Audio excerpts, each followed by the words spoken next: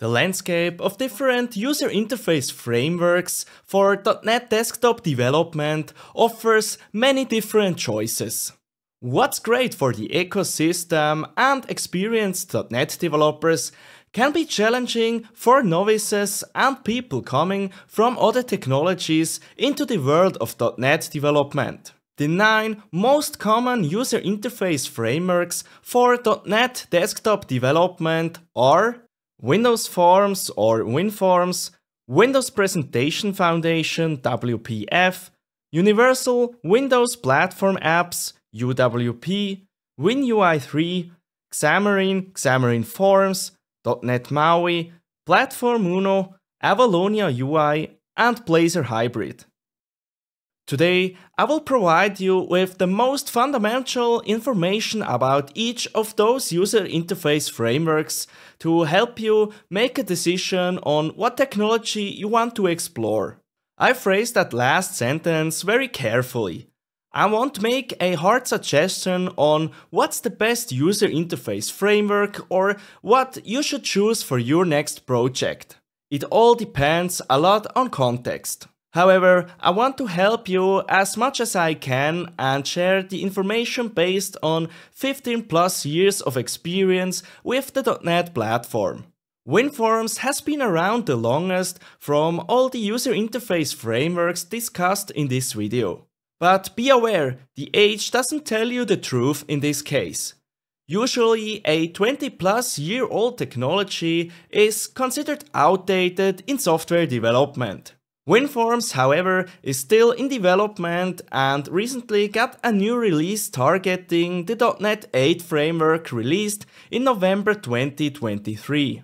While the Forms designer in Visual Studio allows for quick progress, Making it a great tool for development, it often breaks when working on complex dialogues. Also, customization is limited. When it comes to implementing the logic controlling the user interface, WinForms offers code behind files that provide direct access to user interface controls. Code written like that can become hard to maintain in the long term. While WinForms is still a viable actually a pretty good choice for building internal applications or configuration tools. I wouldn't use it for building public-facing applications anymore. Also, WinForms is limited to running on Windows only. Windows Presentation Foundation WPF is the successor of Microsoft's WinForms technology. It uses XAML instead of a visual designer to define user interfaces. Besides a component-oriented model and offering many customization options, it's a frequently used and widely adopted user interface framework. With MVVM and other code separation patterns, WPF is a viable choice for public-facing and growing applications. I have been using WPF for building applications for almost a decade. It has a steep learning curve and many things such as styling components can be done in multiple different ways. When using it in a team project, I highly suggest using the same technique to solve the same problem every time within the whole codebase. One of the most prominent issues with WPF is its subpar performance, the rendering system is complex and allows for various hooks and different control styling approaches. I'm not familiar with what makes it feel slow, but I have seen many complex WPF applications with the typical WPF performance. If performance is very important to you and you want to implement complex user interfaces, maybe you want to consider something else than WPF. Similar to WinForms, WPF is also supported and runs on the latest .NET 8 version. And WPF also only runs on Windows. The Universal Windows Platform, short UWP, uses WinRT interfaces to implement user interfaces and access system APIs.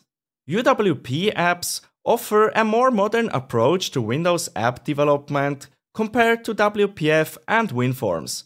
The applications can be deployed to Windows PC, Xbox, HoloLens, Surface Hub, and IoT devices using the Microsoft Store.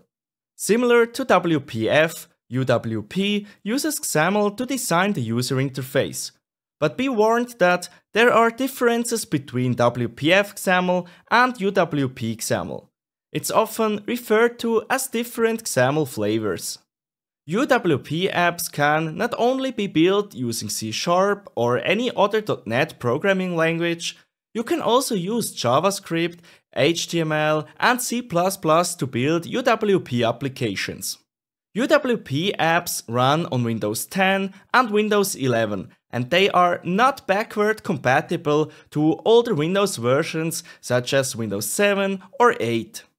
Even though UWP is still supported, in most cases you want to consider something else. .NET MAUI offers a cross-platform alternative and WPF is still a viable solution for developers familiar with WPF. WinUI 3 is the latest iteration of native Windows user interface controls. WinUI 2 is part of UWP and WinUI 3 is part of the Windows App SDK. Compared to WinForms or WPF, WinUI 3 is the most modern user interface implementation. There is built-in support for modern input such as touch, pen and gamepad which are missing in the previously named technologies. WinUI 3 is backward compatible and runs on Windows only. It's a great choice if you want native look and feel of Windows applications and want to build on the most modern foundation. Xamarin and Xamarin Forms are widely adopted cross-platform mobile application development technologies initially developed on Mono and later available on the .NET platform. Similar to WPF and UWP, it uses a XAML flavor to implement user interfaces. Starting as a separate company with the same name, Xamarin was acquired by Microsoft in 2016. While Microsoft initially continued Xamarin Forms for a few years, it has halted its further development and Xamarin Forms support will end on May 1st, 2024. Microsoft proclaims .NET MAUI as its successor. At the time of recording, .NET MAUI has a few known issues. Besides .NET MAUI, you might want to look at Avalonia UI or Platform Uno as an alternative to cross-platform mobile application development with .NET.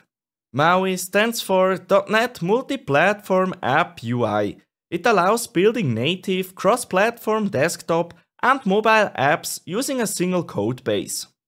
It's developed and maintained by Microsoft and is its latest framework for building user interface-based mobile and desktop applications.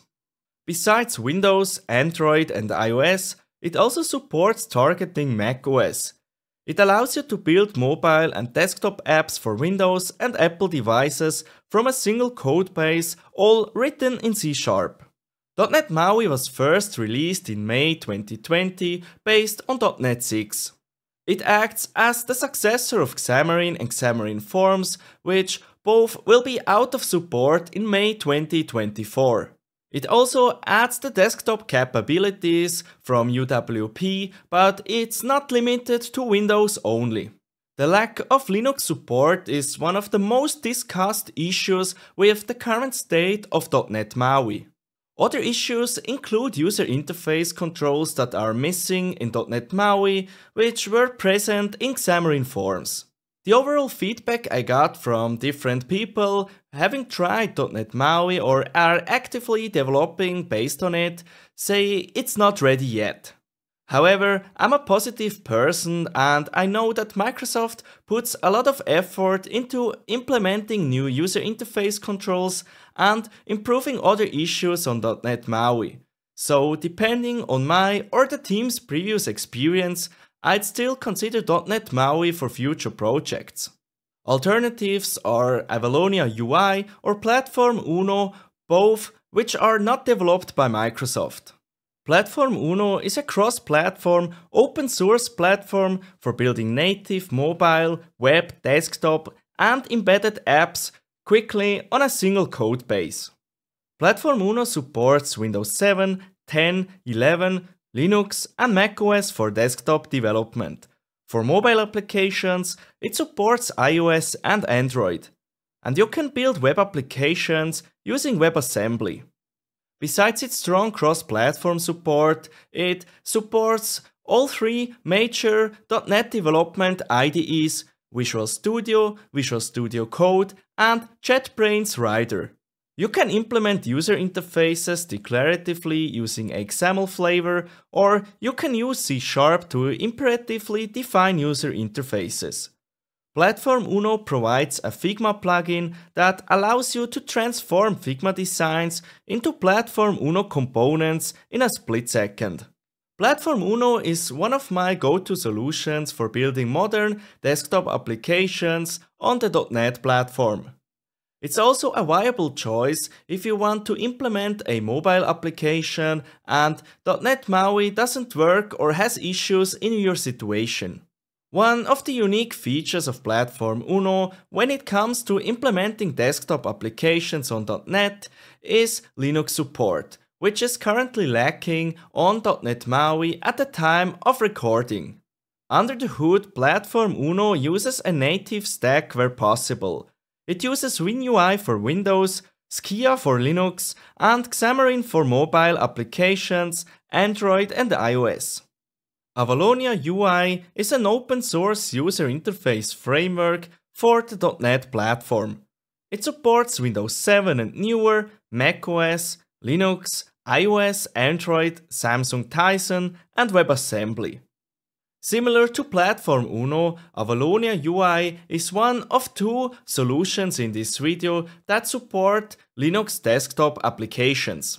If you are interested in building applications for smartwatches, Samsung Tizen can be interesting to you and make a difference why you want to choose Avalonia UI over Platform Uno.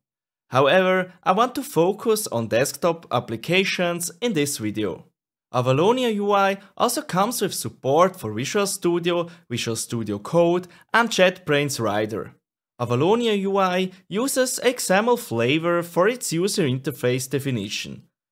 Compared to Platform Uno, we cannot use C Sharp to imperatively declare user interfaces. Avalonia UI proclaims to be an ideal WPF successor, providing cross-platform capabilities and being very familiar for existing WPF developers. Avalonia UI focuses on a low-level Skia implementation as the base for each target platform. Instead of using WinUI or Xamarin, it focuses on a strong Skia-based implementation combined with platform-specific polyfills. It's one of the main technological differences between Avalonia UI and Platform Uno.